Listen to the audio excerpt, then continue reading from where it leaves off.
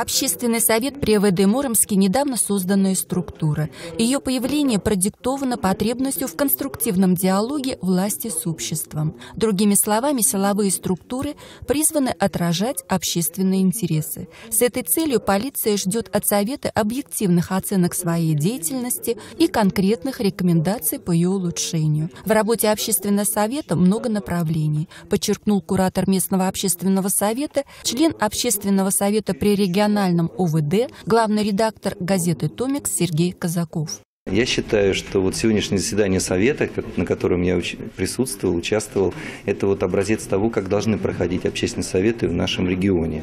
Здесь обсуждались очень важные вопросы, э, такое живое общение, есть результаты работы, будет направлен ряд э, обращений к главе города Мурома, с просьбой помочь, вот, в частности, по освещению улиц, значит, по э, приведению в порядок муниципальных лагерей детских для отдыха.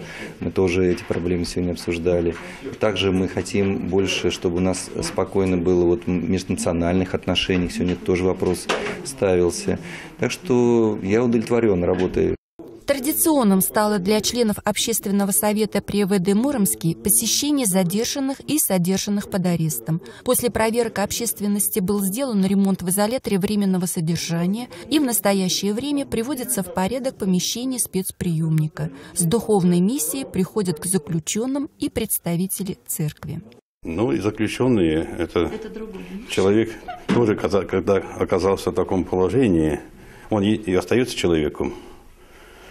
И к этому человеку особенно должно быть внимание со стороны церкви, со стороны правоохранительных органов, чтобы его не затоптать, а научить, обучить, чтобы больше он не оказался человек в этом месте повестку дня прошедшего заседания были включены отчеты о выполнении конкретных поручений, данных ранее членами Совета полицейским. В частности, был заслушан начальник ГИБДД Александр Березовский, начальник отделения охраны общественного порядка Валерий Кулаков и другие. Со слов начальника ВД Муромский, деятельность Совета очень многогранна.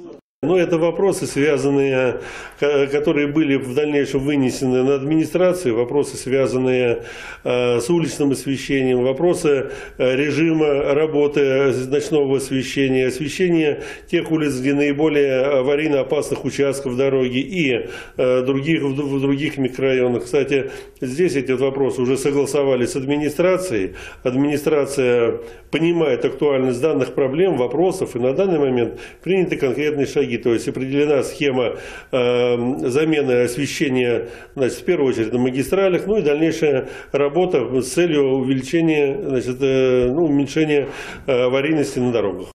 Подводя итоги встречи, муромские полицейские в очередной раз выразили свою готовность к открытому общению, которое содействовало бы укреплению общественной безопасности и правопорядка в округе Муром. Галина Воробьева, Александр Симонов, Новости 24 Муром.